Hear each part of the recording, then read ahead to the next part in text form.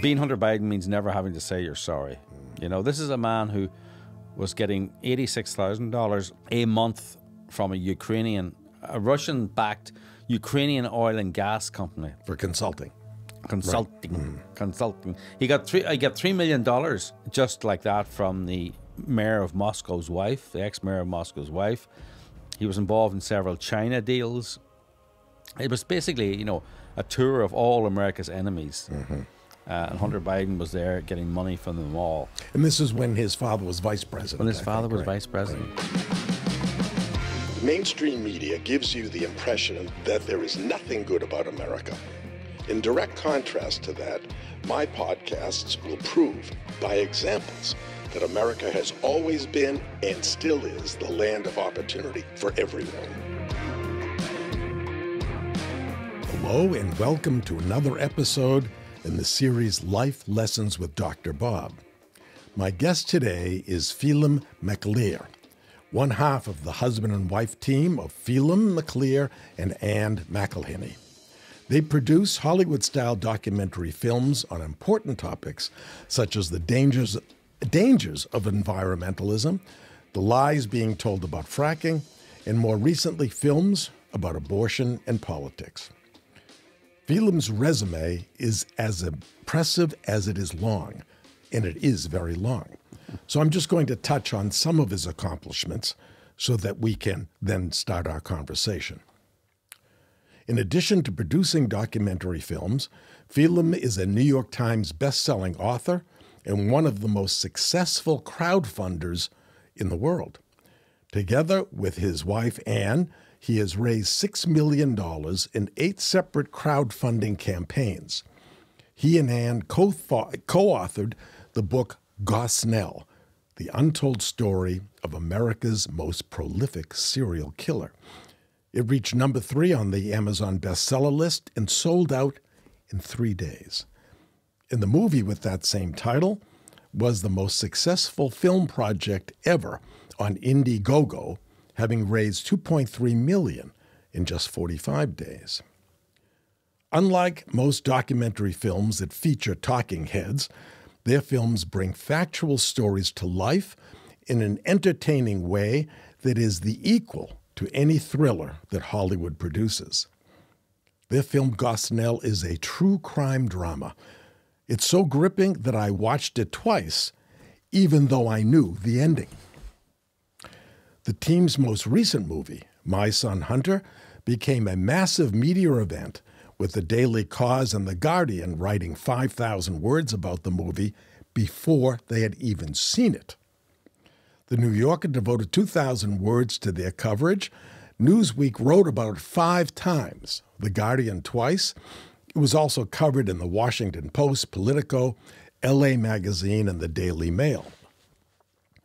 But as you can imagine, most of the coverage from the mainstream media was negative.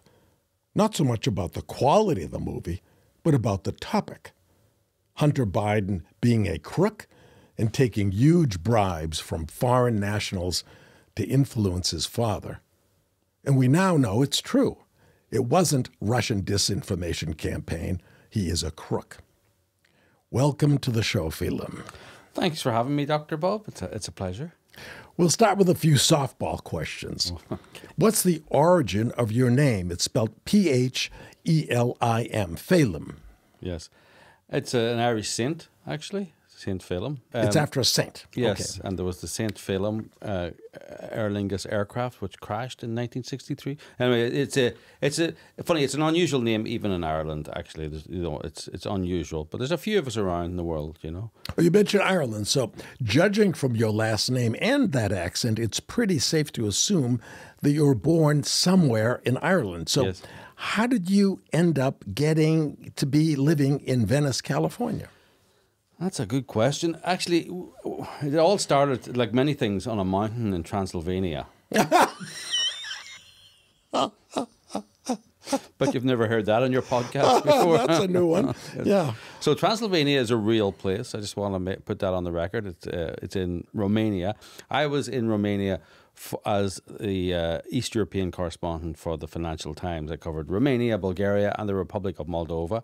And uh, we were going up a mountain, me and my wife Ann, to uh, to to cover a story about an evil gold mining company coming to rip the environment, rip the women, kill, murder, course, pollute of the whole thing. It's capitalism. Uh, capitalism, terrible, and. Uh, we, we our biggest problem. We had the story already written before we went there. We're going up on the train, and uh, our biggest problem was how we are going to get the word vampire into the headline because we were going to Transylvania. You know, these are the Yeah, things that worry Yeah. you. So, uh, so we got up there and we discovered that. Uh, I remember we walked into this room. So the mining company were going to destroy the village. Said we will buy your house and build you a village, a new village down the road. Uh, and they so they built a model house in the middle of the village and said this is this could be your house if you sell us your house. So we walked in and I remember meeting this 86 year old woman. Uh, standing in the in the living room of the of this beautiful Swiss chalet type thing, and uh, she was crying. And we went over with actually it was, it was, the, it was the early 2000s, so we went over with our big microphones because they were big then. And uh, I said, "Why are you crying?" Thinking this is our story. The evil mining company has driven this woman to tears. And she said, "I just hope I live long enough to live in a house like this." Oh. Right, and the environment, international environmental movement got wind of the gold mining project. Mm-hmm. And prevented the project from going ahead. So that 86 year old woman never got to live in her fancy smancy house. right? which which she and all the other residents of the village would have had. Two thirds of the village uh, villages didn't have indoor plumbing in Romania in the year 2003, right? So but their lives were saved by the environmentalists. their, their poverty was saved, actually. Yeah, they that's were, right, They were right. preserving Their lifestyle.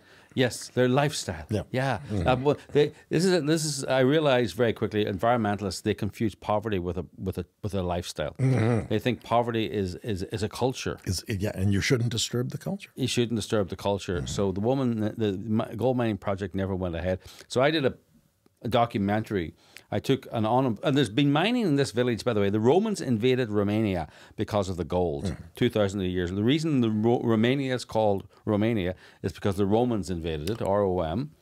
I had no idea. Yeah, and they went and they this because of the gold in Transylvania. They were they, and there's you can go there and you walk into ancient Roman mines. Uh, the communists, of course, mined it as well and polluted it. This gold mine company was going to clean up the pollution and remine it, and. Uh, the place is still filthy, it's still polluted, and people are still living in poverty. And I think we came down on the train and we realized whose side are you on? Are you on the side of the 86 year old woman, or are you on the side of the Swiss and Belgian environmentalists who went and lived there a couple of years, or a year, half a year, and saved the village and then moved back to their rich home in Switzerland? So you have a choice to make. And we realized that for these villagers, the biggest enemy, the, their, their biggest enemy in life is not big business. Their, the, the thing that's making them poor is, is big environment. Wow. So is that the first? Uh, that was what kicked off uh, Yes. uh, your your conservative views about the environment. And we made a documentary then. We took an unemployed miner from the village and brought him to a gold mine in a mine in Madagascar, which was being prevented by environmentalists, and we brought him to a gold a proposed gold mine in Chile. That was being prevented by environmentalists, and he found the same we all, Same shit. same shit, different accent, you know. And he was shocked. Uh, yeah, and um, he just couldn't understand that people would want to keep. He was shocked by the poverty in Madagascar, right? And he couldn't believe that anyone would want people to live like this, especially rich Westerners. And uh, but it's we- quite. It's quite. Quaint. It's like they- free range. Their, their chickens are Yes. certainly free range. There, oh, they're I'll not in you, cages, right? Uh, pretty thin looking, uh, free range, you know. Uh, Yeah, got a good thin. diet. Yeah. Uh, they're not fed any uh, any artificial anything there. And uh, we made a documentary called "Mine Your Own Business." oh, that is M-I-N-E. fantastic. That's a clever play on words. Mind Yep. your own business, and uh, we it suddenly became popular in America. Uh, we'd never really thought of America before, and, and suddenly there was a market. I, I thought all my liberal friends were going to tell me how wonderful I was because I'd made this untold story. It was this kind of oh wow. I thought this is an interesting story. You know, whose side are you on? Yeah, people. people or big environment mm-hmm, because mm-hmm. people think of environmentalists as scrap it the big environment is is is as powerful as big business mm-hmm, so these are two forces in the world opposing each other Nowadays, they're kind of working hand And hand. really, they're against progress. Isn't Yes. that what they're against? Yes, They're funny. against That's one of the things that we say uh, that one of our interviewees uh, say is progressives are not don't believe in progress. Mm-hmm. You know, it's a, it's a misleading. I call them the the regressives. Uh, Good they term. want they want to go backwards. Uh, you know, conservatives are supposed to be conservative, conserving things. But conservatives are the real progressives. They embrace new technology. They want to go forward. They want to make things better, simpler, faster. Uh, because poor people Can afford more. yeah, and- Absolutely. and, right. have better lives. So that's so we suddenly we were suddenly popular in America, and Ah. it's always nice to go where you're liked. So we came to America. and where the weather I- usually I'm a is people nicer. pleaser. I'm a people pleaser, so I came to the people who pleased. Or Who I pleased you, right? yes. So did you move? uh, That uh, how long ago was that? It That was, the around first. 2006, 2007, and then we moved there pretty quickly, just in time.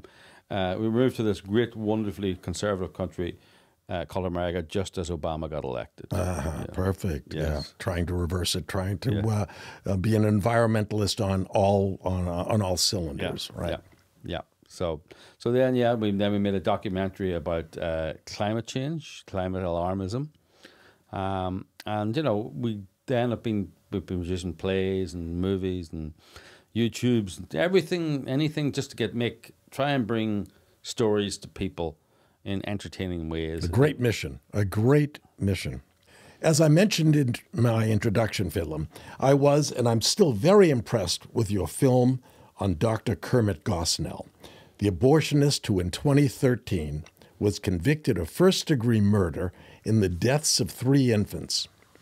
These three babies, I'll tell you, these three babies were born alive. And as they were moving and crying, Gosnell cut, or as he put it, he snipped their spinal cords and placed them in the trash. How did you hear about this trial? What got you interested in well, it? I we made a documentary about fracking. Um, Tell us about that too. Yeah, FrackNation. Uh, it was um, there was a documentary called Gasland, which has really been very, very damaging to America and to the world, especially now with um, Putin controlling the world. You know, controlling gas supplies to uh, Europe. If Europe had fracked, Putin would be Putin would be finished. Mm-hmm. That's the reality. If, if Europe had its own gas supply, Putin. Or not- if Germany didn't shut down their nuclear plants, yeah, yeah, for example. yeah. Uh, Germany has fra- has fracking possibilities too. So does France. So we made a documentary about fracking, and of course, Pennsylvania is a big place for fracking. So I was in Pennsylvania doing a little tour with a movie there, and uh, I was in Philadelphia, and uh, you know I had a day or two off, a couple of days off in between screenings, and picked up the local newspaper and uh, saw a local report about this case, this Kermit Gosnell case, and it was pretty amazing. He uh, Just in a local paper. in, the- in the in the local paper, you know, as you say, an abortion doctor, three three counts of four counts. Actually, I think it was more. He was and eventually he was convicted of, of four or three, and, and the manslaughter of a patient. He, he actually murdered the patient, he, but he murdered a couple of patients, but he they weren't able to prove that. And uh, I thought this this is interesting. So I this is what journalists do in their day off. By the way, they go to the courtrooms uh, to cover to look at interesting murder trials. So I went down there, and you know I walked in, and uh, it was amazing. There in front of me was was Go- was this woman, this member of Gosnell's staff, right, giving evidence, and it was it was like about truly horrific things. And I want to say, now the movie is not horrific.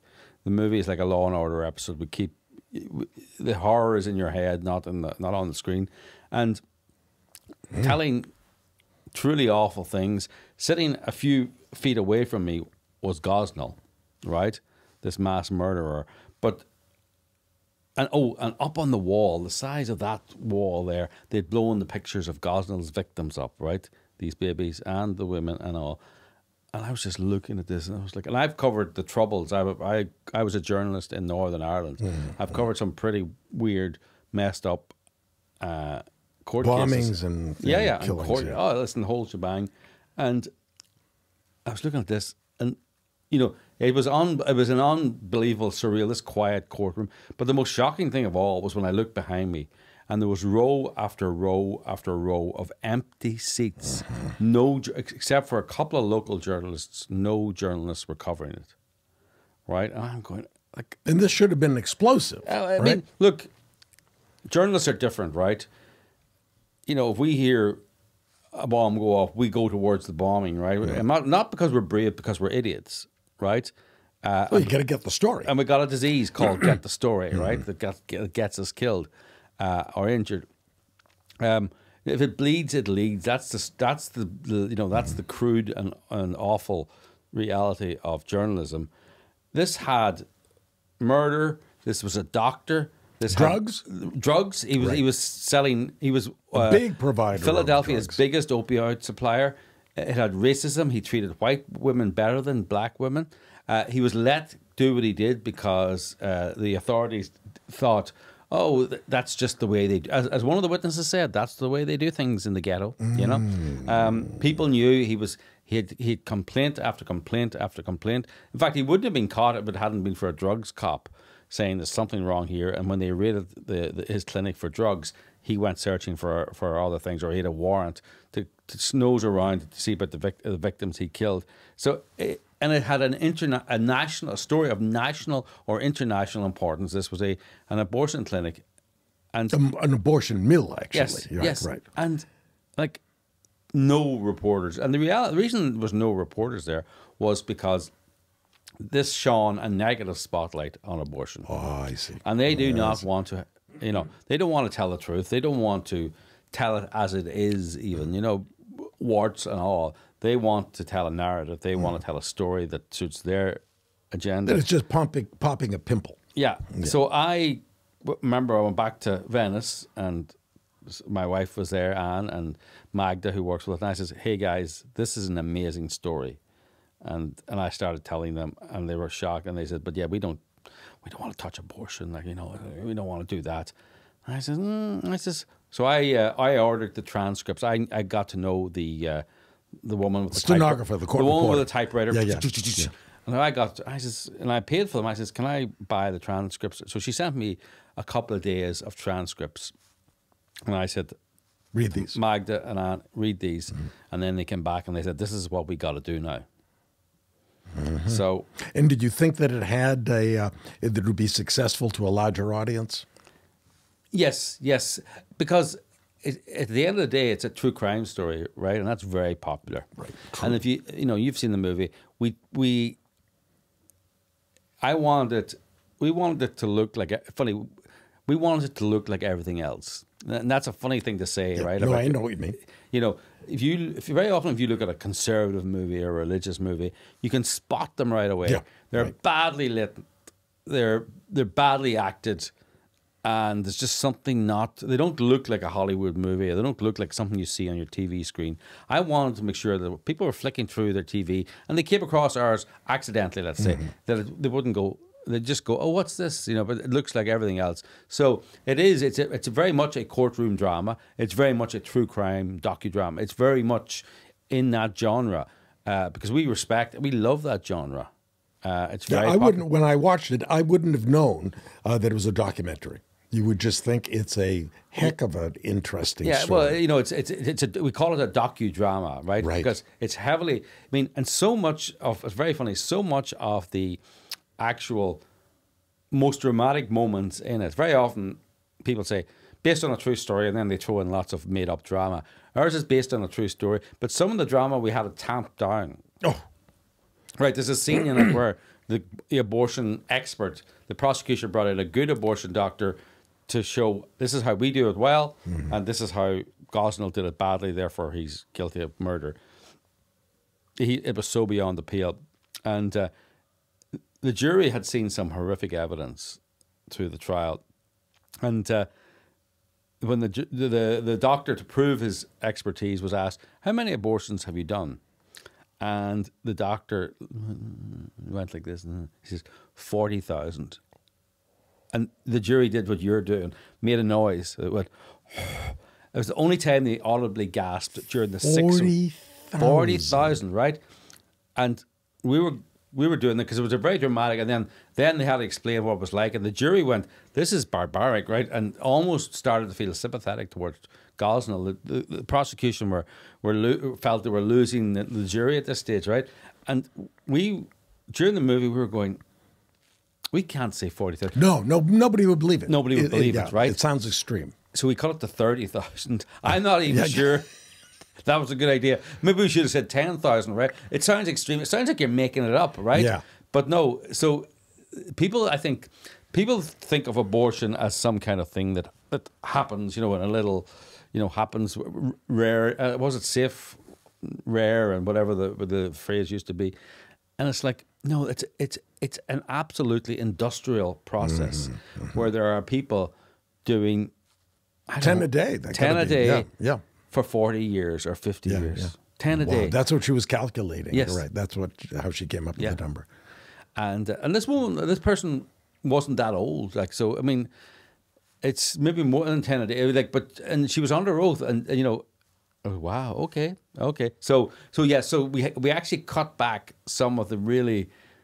Uh, amazing stuff that came out in the courtroom because we felt, we also we felt people won't believe it, but also it'll take them out of their, they'll start calculating it and thinking about it, and we want them to focus on right. the movie. So you know, we had all this. You're better off saying a lower number. Yeah. Uh, and but I want to make clear the the the, the movie is not anti-abortion movie. It, it doesn't take a position on abortion. No. It takes a position against criminals. That's what it is, and against this particular individual. Yeah, well, we wanted to bring the truth to people too, right? And and so it, it takes a, a position that this is our we have a 501c3 it's called the unreported story society now this wasn't made by the unreported story Society. it, it, there are charities more recent but it's the same principle these are stories that are not told mm-hmm. and there's a mm-hmm. reason you know I, I can't remember who it was that journalism is something that somebody somewhere doesn't want published right That's very good. So- that's why we have none of that anymore. yes Right. yeah because you Right. look at the most of the journalism in america there's a It's what the government wants. yeah, or or the the establishment or the deep state, what what they want, and uh, we're we're saying let's let's publish something that they don't want. You know, if you know, let's publish. If somebody's not calling for you to be banned, uh, then you're not you're not You're not doing the top. job. No, so that's that's Now, uh, in in thinking about uh, the book and the movie, uh, did you interview uh, Gosnell at Oh all? yes, Mr. Gosnell. Yes, uh, yeah. Ann somehow got that short straw really for a long time. He got her phone number. We we wrote to him and give him Ann's phone number. I don't know why, uh, but anyway, thank. so Anne, my wife, who's a pretty hardy lady, right, and pretty strong, and look, she she's done undercover work in Indonesia and Romania. There's two people in Indonesia serving lengthy jail sentences uh, because she infiltrated a baby selling ring in Indonesia, right? So, but Gosnell kept phoning her and phoning her, and and you know she'd lift the phone and it would be, "Will you accept a call from a prisoner at Huntingdon Correctional Institute?" You know, and like he'd, you'd be at a wedding, and the next thing you get a, a call from a serial killer, right? And uh, Ooh. Now, why would he do that? He's just lonely. Because he would listen. I see. Yeah, he will talk to. I remember we had a conversation with the cop who investigated him, and we said we're thinking of uh, reaching out to Gosnell. Do you think he'll talk to us? And the cop looked at us and goes, "He will be talking to you till the end of your days." Right? He is a narcissist. Just wants the attention. Wants the attention. Thinks he's God, and wants everyone to know that. So, so we. Uh, And he still, to this day, or at least from the film, still believes he did the right thing in Yes. killing these Yes, babies. They were born alive. Yes. Right. Yeah, but you know when you and he's good. He's good at, at, at lying, but unfortunately, we and he it's a couple of times he goes, "Oh, you've done your research," because we would ask him really pointed questions, right? Oh, they weren't born alive. Well, why did you snip their necks then? Right. And it's like, oh, just to ensure. But well, you know, why do you have to ensure? Uh, and you know, he said they were injected with digoxin, which killed them before. And he goes, well, there's no record of your clinic ever having bought any digoxin since like 1992 or something. Yeah, but I bought it. Yeah, no, you didn't. It's a controlled Bullshit. substance, right? Right. So, and I, and I will say the movie is is PG thirteen. There's no horror in it. It's as you know, you know, it's in your mind the horror. Uh, it's a courtroom drama, but yeah. So Gosnell would phone on. Yammer on and talk. But it's good, good to get him talking because, you know, we got beautiful. Like he delivered. He says he delivered Will Smith. Alive.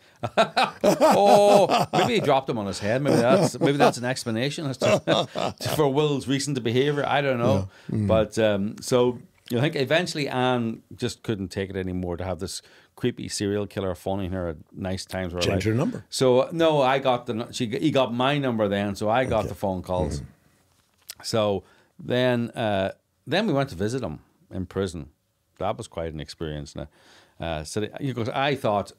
Uh, it was going to be, you know, you watch the movies, the plastic, Sure, reflexi- glass or something, Oh yeah, and talking and the phone. yeah. Oh no, no, it's like it's it's like it's actually like this. No Only the seats are closer. Oh, Sometimes boy. there was a table. It's like a university common room, right? I see. And you're in there, and there's all these guys with thick necks and tattoos in orange jumpsuits, and And, and they're not handcuffed to the nothing, table? zero. Whoa. Yeah, Well, I I ain't like, going oh. to visit any prisoners, that's for sure. And I'm going, okay. And I'm thinking, like, one of these guys could just jump over And, and kill you. and kill you, like snap my neck. Yeah, and, that's right. You know, Kill you. but anyway, uh, and uh, we're sitting there, and uh, so I'm sitting here, and Ann's sitting there, and Gosnell, come, I see Gosnell coming in, and he comes in, and there's two seats in front of us, and they're quite close, right? Even closer than we are now. And Gosnell looks at the two seats. Like, what would any decent human being do? But of course, this is not. You would sit in front of me, right? So he takes the mm. seat in front of Anne and spends the whole of the interview mm. making points and touching Ann's leg and then apologizing and then touching the leg again. Creepy. Just creepy. Just just a, a total creep. But anyway, you know, we didn't and didn't mind because we're there to get a story, right? We're not there to get offended or Right, you know right. like if you know we It's the, need co- to get it's the price you pay. uh, yeah, we're there to get a story, and um, and and at the end of the day, we're going home to our nice showers, our nice bathroom, and our nice Yeah. beds, and our nice kitchens, and he's going to be in a somebody's cell. Yeah, to be Where a cell. belongs, yeah. So, but he's he's happy there. His biggest problem is he didn't get into the poetry class. He writes poetry as well. Uh, he's in a band. He plays um, the piano, but uh, he could have been a classical pianist. He loves telling us this, you know. Uh, but he wanted to be a doctor. Um, his father wanted him to be a doctor. He's he's quite upset that the um, the piano is electronic, and we were thinking afterwards, nobody wants him to have piano wire, right?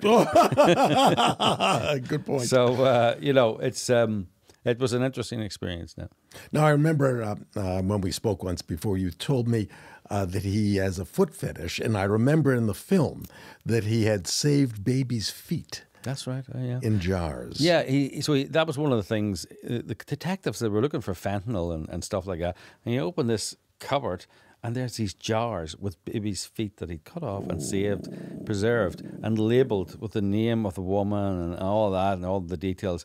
You know, dozens of them at one stage, and uh, then the we talked to the detectives, and they'd listened to his jailhouse conversations, talked about feet the whole time. And we walked in, right? and I just started talking to him, and he immediately started talking about feet again.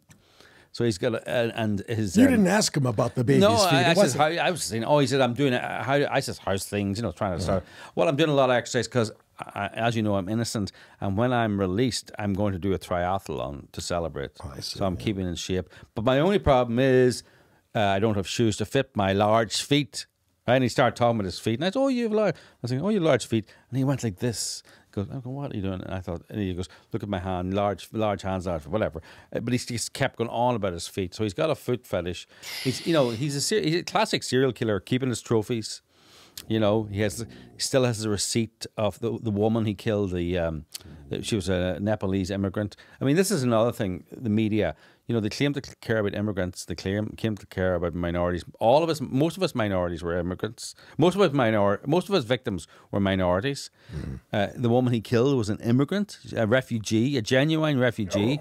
She'd been in a refugee camp for twenty years. She was here four months, and he killed her. So, so what a great story. I mean, uh, sorry, Fantastic story. you know, but as a Horrible. think of all the all the issues you could raise. Yeah, that. that's right. You would think there would be a number of people in the court watching uh, or taking note of Yeah. this and writing articles about yeah. it. but None the- did. no, Nobody was were, but then there was a social media storm, and they were shamed into covering it. You know. Uh-huh, uh-huh. Because of your work, I Yes, think. yeah. Right. I see. Wow. Let's talk about the filming of My Son Hunter.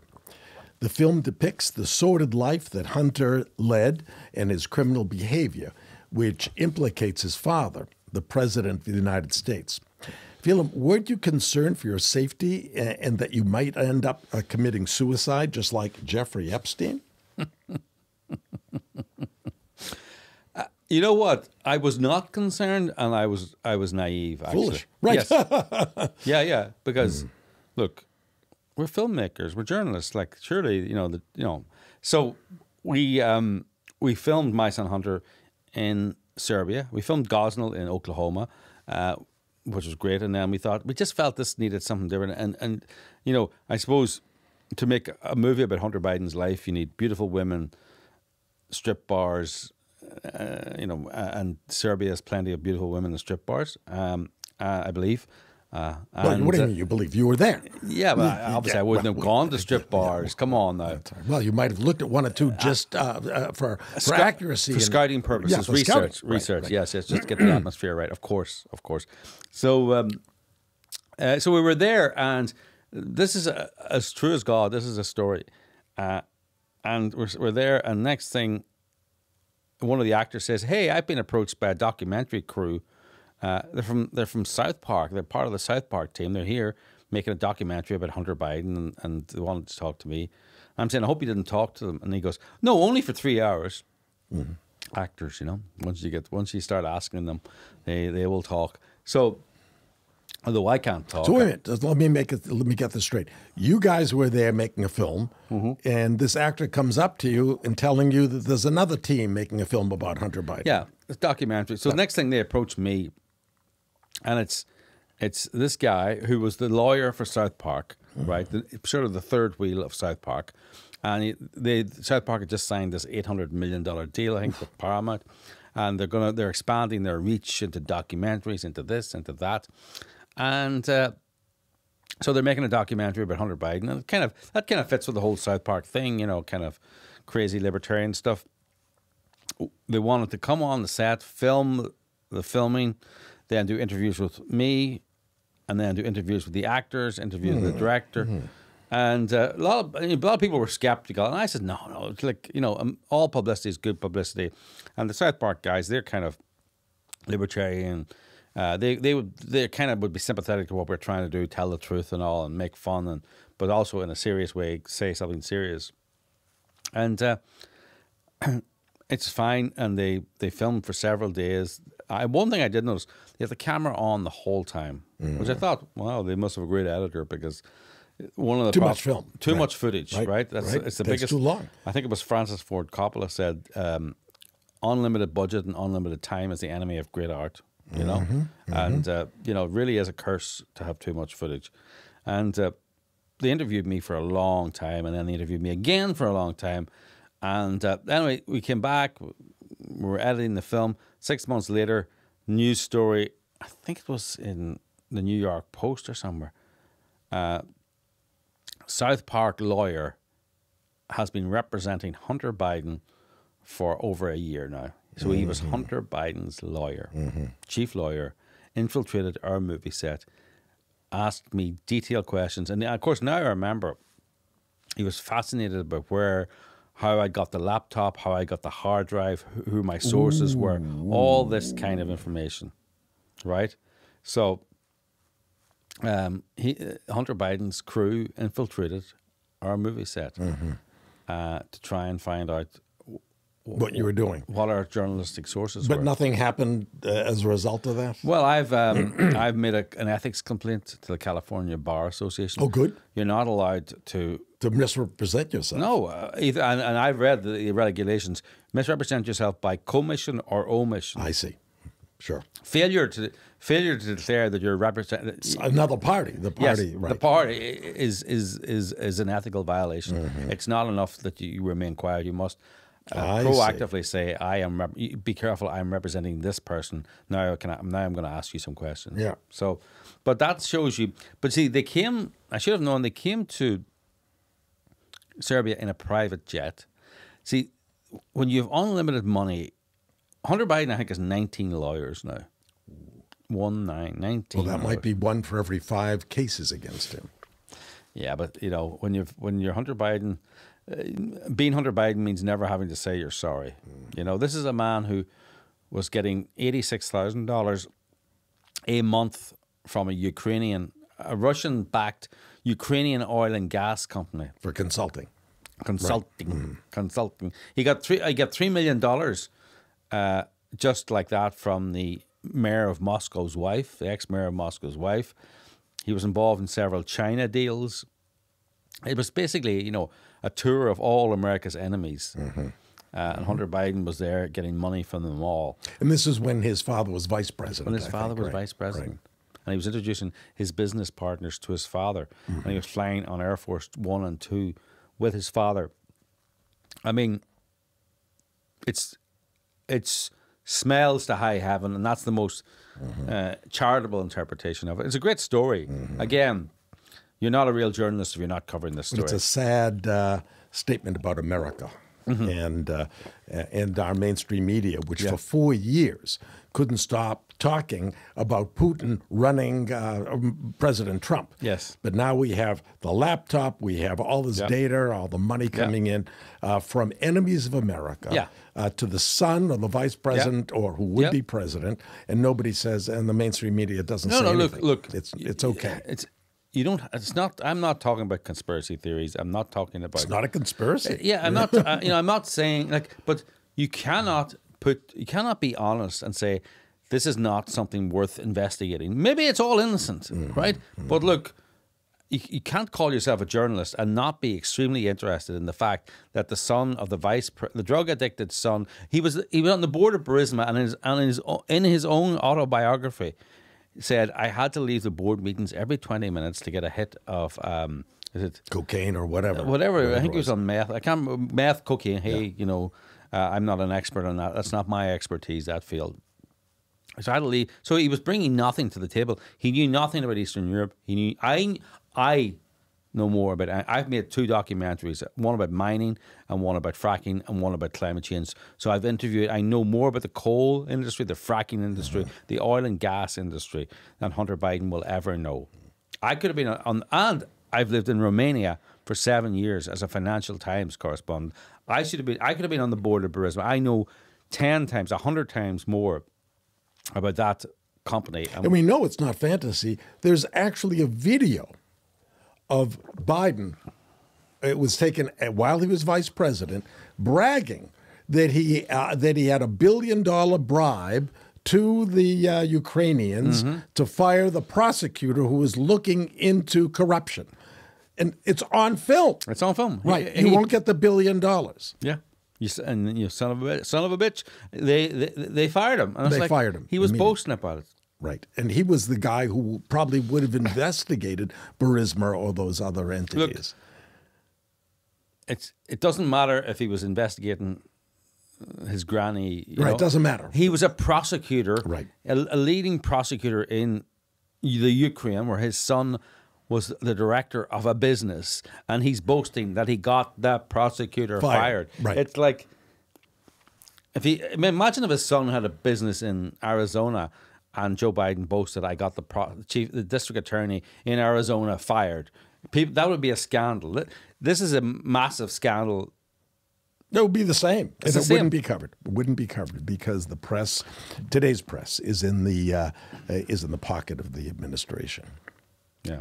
More recently, Phelim, in 2020, your team produced a film called Obamagate that exposes the deep state plot to undermine the Trump candidacy and the Trump presidency. Now, the Obamagate movie is really a filming of an onstage play performed at the Hudson Theater in Los Angeles. Mm. And in that play, the script for each of the actors is word for word text messages, declassified files, congressional and court transcripts, tweets, and statements of top government and FBI officials. So it's all completely true. The script is exactly word for word of those documents. But I'm sorry to say, Phelim, for me, the film doesn't have nearly the impact or entertainment value of your prior works. So, how is the film generally received? Well, th- that Obamagate was based on on FBI Lovebirds Undercovers, which was the original, um, and it was it was very funny actually. I think Obamagate suffered from just an overwhelming amount of information. But the original, the original FBI Lovebirds Undercovers was based on the text messages of Peter Strzok, Lisa Page, and and just a bit of That the, would have been better. yeah. So it was it was hilarious. It opened in in DC for one night uh, after the venue cancelled six days before. Of course, of course. Uh, and uh, we, that's a thing called verbatim theater, where you, you take a, a, either a court case or an inquiry or an investigation, and you publish only the eyewitness testimony or, the, or actual under oath stuff. And uh, it's very interesting because you go to the theater and you you watch the audience, they're listening to what the playwright has written. You go to verbatim theatre, they're all leaning forward because they want to hear, they know that every word that's said was a word said by an actual real person. And uh, Obamagate an FBI Lovebirds undercovers. It's it's like, it's uh, it's you know, it's part teen romance uh, because Strzok and Page are lovey dovey, but then they're going, we got to stop Trump getting elected. Uh, we got to make this Russian connection, and it's like, and you could see that it was a, a ideology in search of a crying. Yeah, but uh, the acting, uh, the fact that it was a filming of a play is very different Mm-hmm. Yes. than making a movie where there's sets and actions and all sorts of Yes. things happening. So, um, uh, would you do it again? Yes, yes, but um, but you see, the great thing about it is, and I, what I the great thing about it is you can take little clips. I think I think a play, a film play, uh, is a tough thing to hold for the hour and a half or whatever.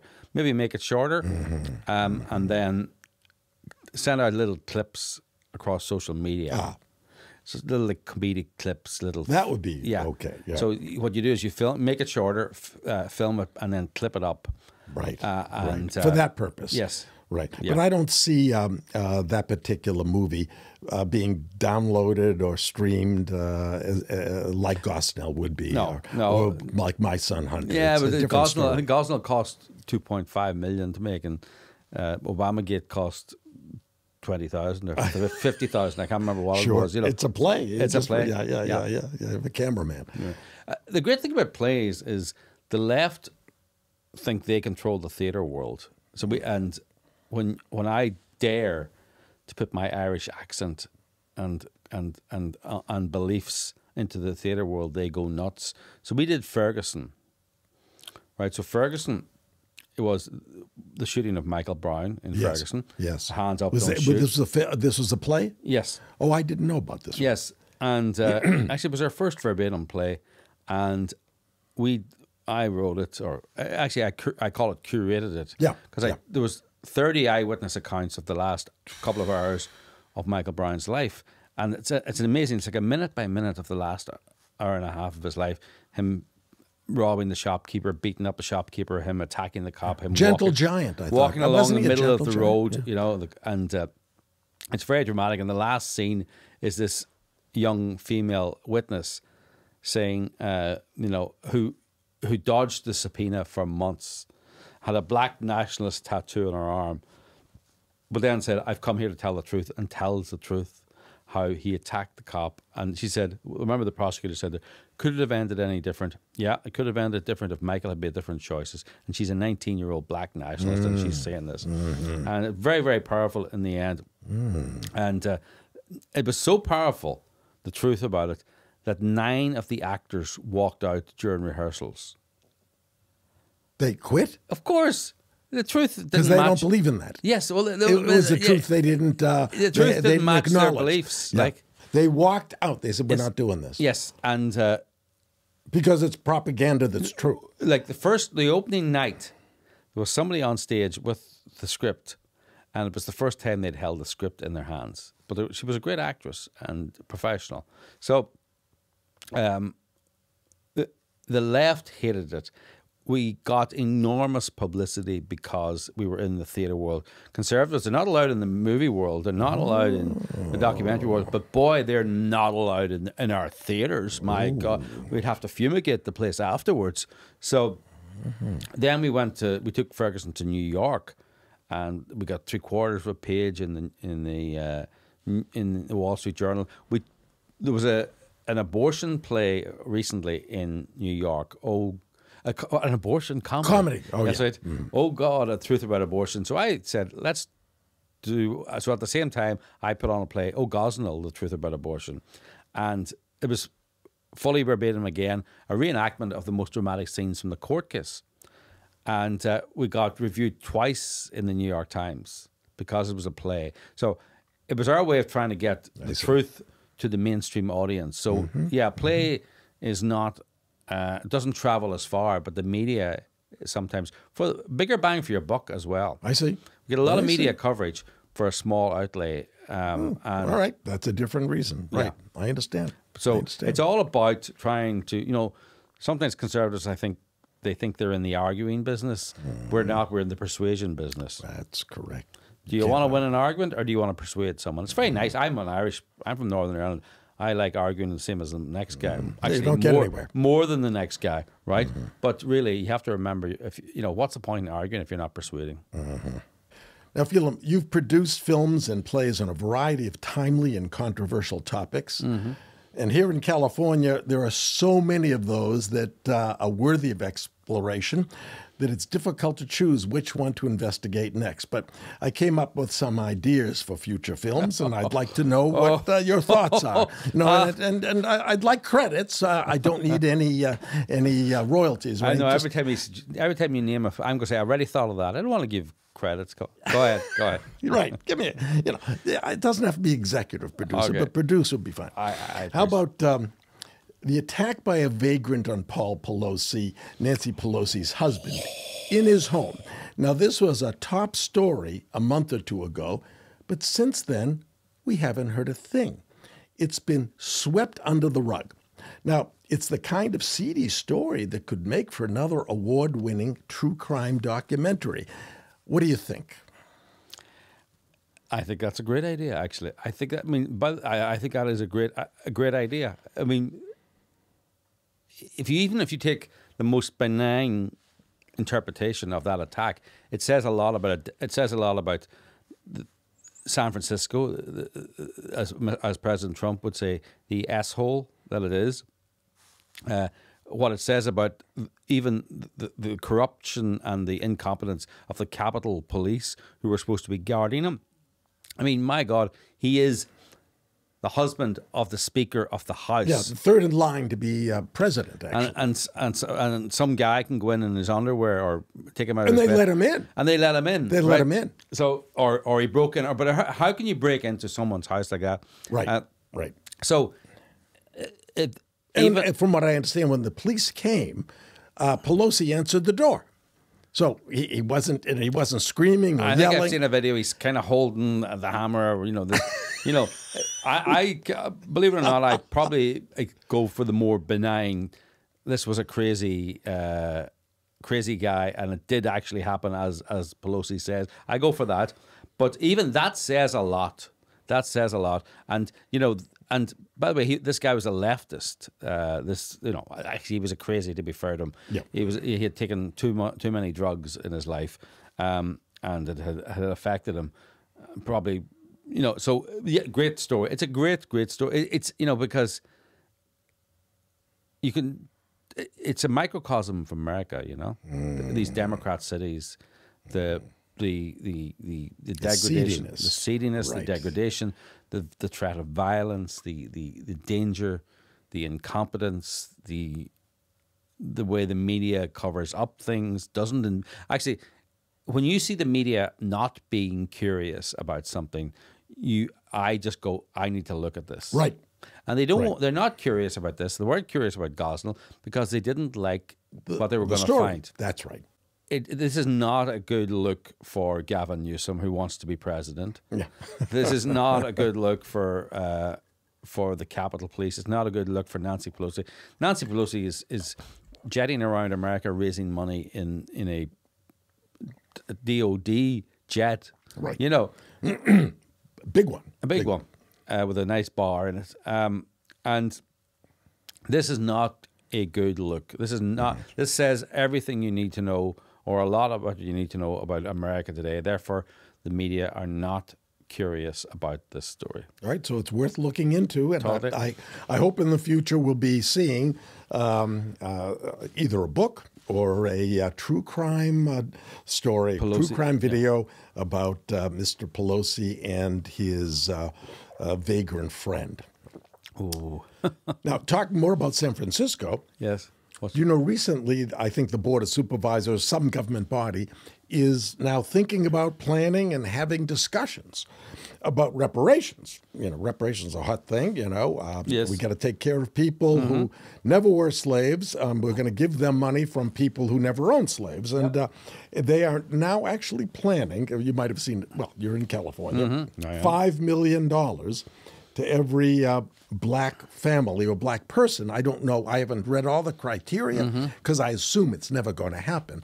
But uh, this is yet another example of uh, what uh, the, of the rot that is happening uh, in San Francisco, and it's going. What happens in California spreads the rest of America. So you, is this another movie idea or uh, uh, well, uh, you know, you know I- sort of I- roots the roots the sequel? Root, Root's the sequel because we all, if we had our DNA taken, I'm sure all of us have some percent of black, uh, you know, uh, descendants Well, Elizabeth Warren is one sixteen hundredth of an Indian.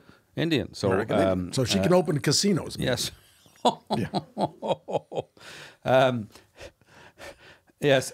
Well, I mean, um, does Rachel Dolezal, or does she, or whatever that lady was, uh, and and This one I don't know. this, she's the one that pretended to be black. Uh, she, Oh, with the curly hair. yes, right. Does, does she qualify? And by the way, If you think you're black, are you? Maybe you, you can identify as black. Uh, you can What about the famine? By the way, what about the famine? Which famine are we speaking about? Oh, oh the Irish famine. We we don't care about those minorities. Those that doesn't count. I, the I I'm Italians I'm gonna go back here. to Ireland and demand reparations from the British government Yeah, for my ancestors who starved during the Irish famine.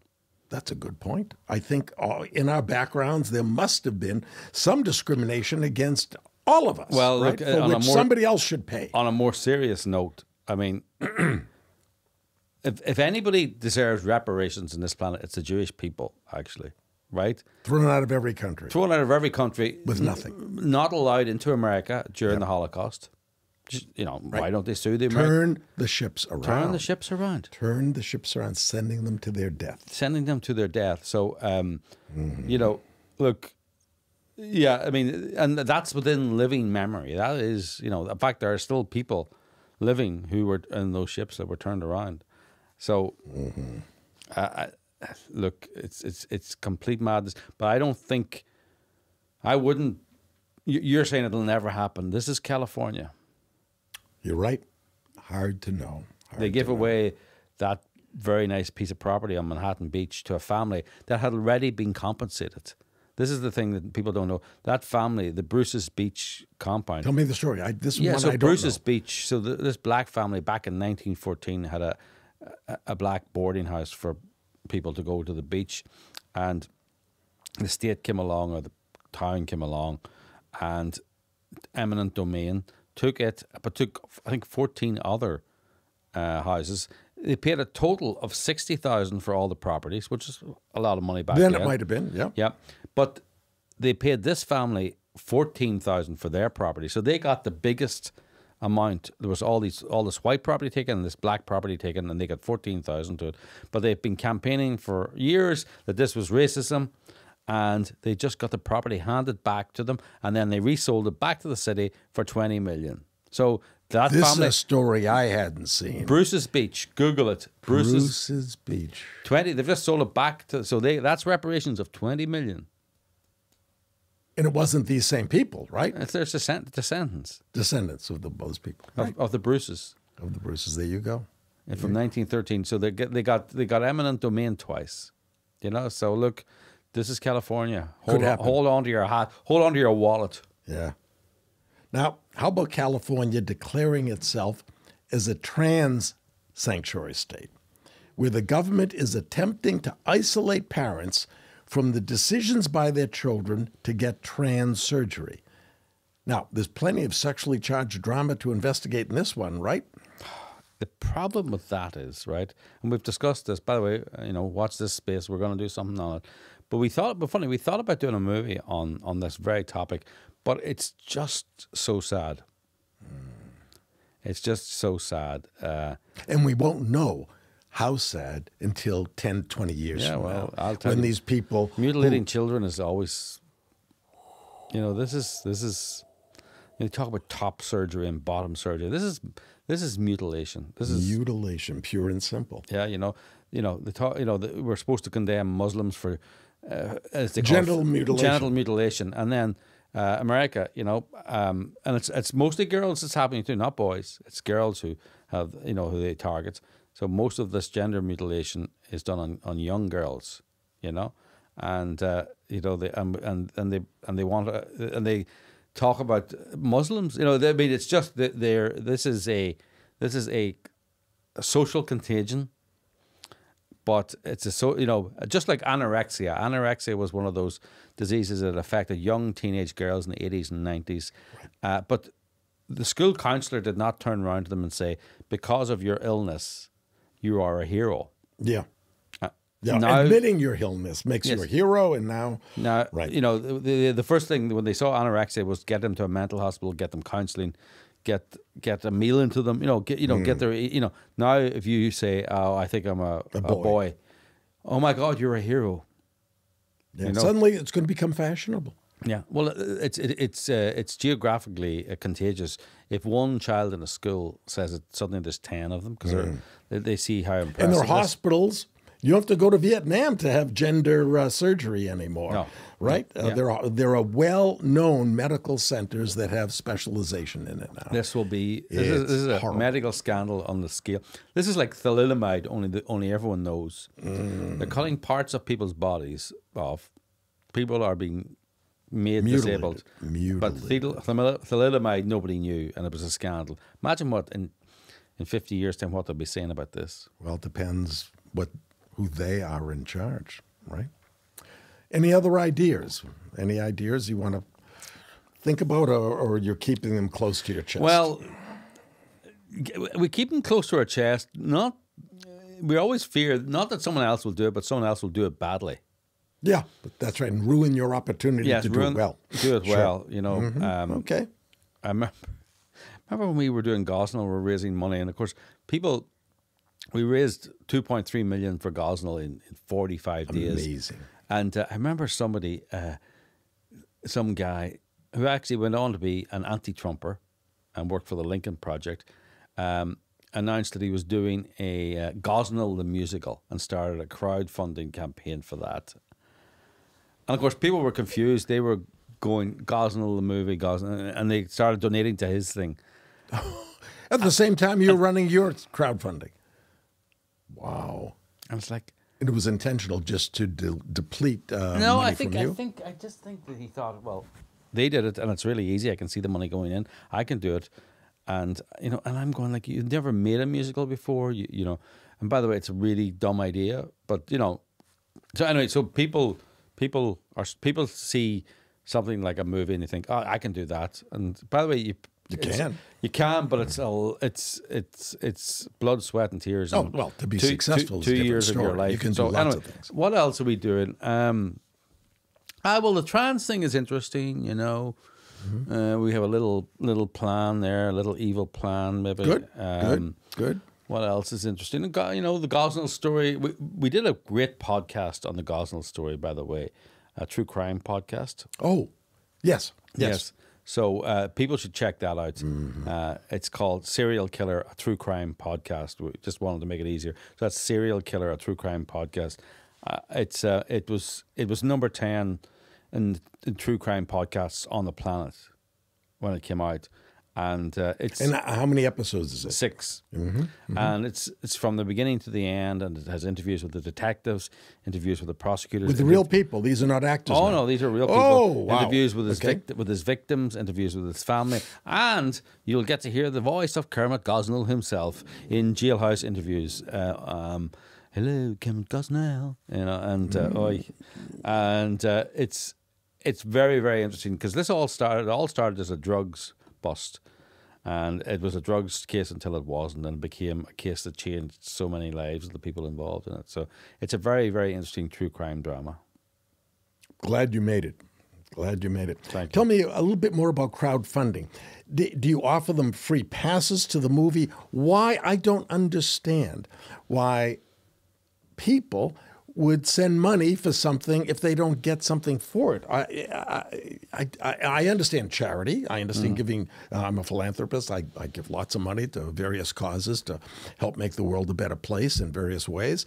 But I don't understand crowdfunding. No, crowdfunding they do. They get a perk, and funny they care about the perks. Okay. right. So, um, so we had thirty thousand people give to the Gosnell movie, and I think it was if you give thirty dollars, you got a DVD. Ah, ah Right. okay.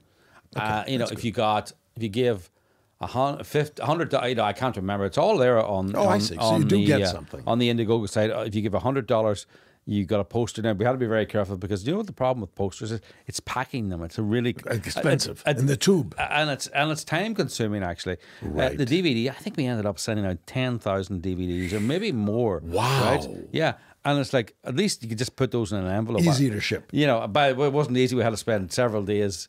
Me, like the producer, I was in a large shed getting my hands dirty, putting DVD. The, the humanity. I mean, oh my God! Right. But anyway, I was glad. I, I was to be. I'm only joking, but I was so glad to be sending people out the rewards because at the end of the day, we presented them with an idea.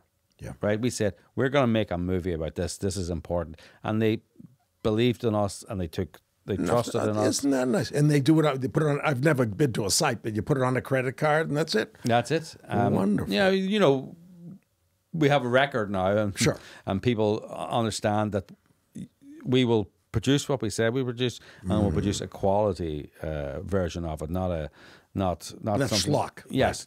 Right. So we have a we have a good track record now, but I just want to thank everyone who's ever donated, and, and many people listening to this will have donated because uh, we couldn't do it without them. And it's it's it's I we do deliver value for money and fun and entertainment and uh, and important, and we tell these stories that nobody else is telling. And I mean, I remember Ann, my wife, get panicking on our back patio saying, "We got to announce the Gosnell movie now because somebody else is going to do it." Our big, we we realized Gosnell was such a great story. We were thinking, "Oh my God, somebody else is going to do it." Surprising, right? That nobody did. No, well, see, And I can understand my son Hunter. People are afraid of doing it, right? They're afraid of you think? the. Yeah. Right. I would think so. yeah, it's funny that I must be stupid. I think I'm too stupid. I thank God I'm stupid because it never occurred to me. You see, To be worried. yeah, which is good that I'm Also, an excellent movie. Oh, thank excellent you, movie. thank you, thank you. It, it was it was good. Robert Davi did a great job. He was the director. He was the Bond Mm-hmm. villain, Robert Davi. He's also in the Goonies. And then Brian Godawa did a great job writing it. Um, it's a, it's a tough one to write because you have to bring in the information, you have to bring in the humor, uh, and you have to bring a narrative story together. It was, it was almost too much information, but I think we did a good job of of you know of telling it and having a quirky, almost absurdist because it's actually absurd what happened. And but the film work and the makeup on Hunter Biden, you know, he was sweaty, smoking, and, and uh, do people actually have to smoke? They have to breathe it in, I guess. It's not they're not smoking drugs. I know that, but uh, I'll tell you, you Laurence Fox, who was the actor who did it, excellent. excellent. He, I don't know, some kind of what is it on rosemary or something like that, or some kind of uh, sage. I don't know, but you know, you smoke that And it makes you sweat. thirty times a day or twenty times a night for eighteen nights.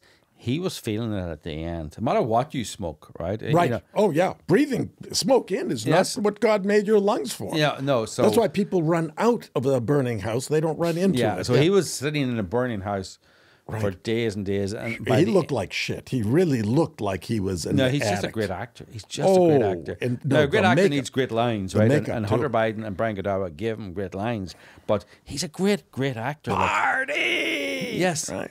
and and he he's a great actor, and and he just looked Looked the eh, part. looked the part, and you know people say they watched it, and, and I noticed that like you feel for him, and that was one thing we didn't want to make Hunter Biden a traditional villain. right? You know, not a traditional villain. we didn't want to make him an evil villain. We wanted No, to humanize him. manipulated, yeah. Very funny. So there's this uh, Nepo baby, uh, Molly Jong-Fast. She's the daughter of Erica Jong, and she's a big liberal. Has a podcast in the Daily Beast, and is beloved by all. And she's seen both our movie, and she's seen she saw FBI Lovebirds uh, live, and uh, um, the criticism of both of them was the filmmakers have accidentally humanized Hunter Biden, and then the filmmakers have accidentally humanized Strzok and Page. And I'm going, Molly, did you ever think when we accidentally did something twice, wasn't an accident? It wasn't an accident, Yeah, right? yeah. Like, who wants to go and see a movie about subhuman or evil people, right? You want to go see a movie about human beings who are corrupted, Mm. Right. Because if you believe they're human beings, you'll see, you'll understand, and it's much more interesting how someone becomes corrupted. If you, if they're an evil villain from word word go, It's a Bond movie. yeah, but you also expect them to be corrupted. So what's the story? Uh, Where's the where's the will they won't they? Mm. No, the the movie uh, Hunter left me with the strong feeling that whatever he did, he did it for his father, to so his father would love him as much as he loved Beau. Right, that was the feeling I got. Yeah, got. and that's a very human. Uh, Yeah.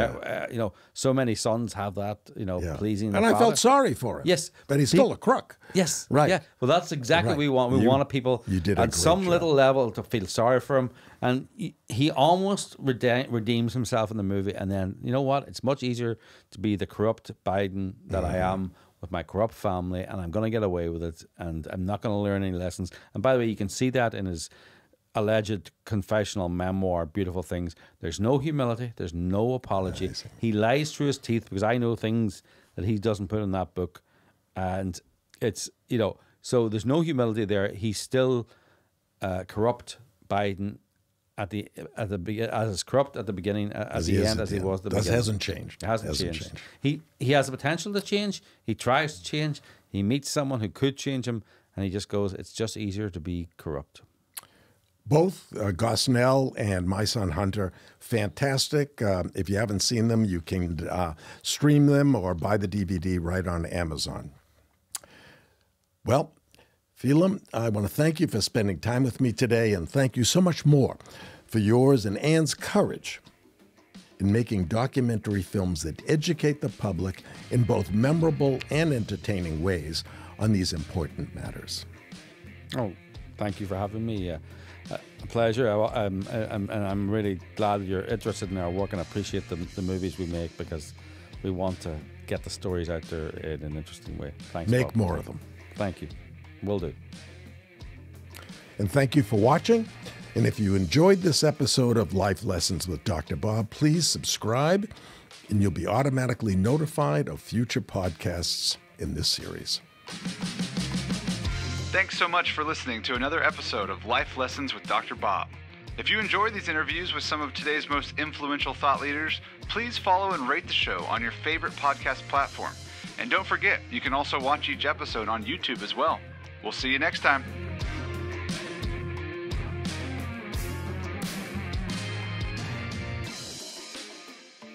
Hey, thanks for tuning in. I appreciate reading your comments on YouTube and social media, and now you can submit your questions on my website as well. Head over to lifelessonswithdrbob.com and click the question tab at the top of the page or the one on the right side of the screen, and let us know what's on your mind. I'll answer your questions at the beginning of each episode, so let it rip. Let's have some fun.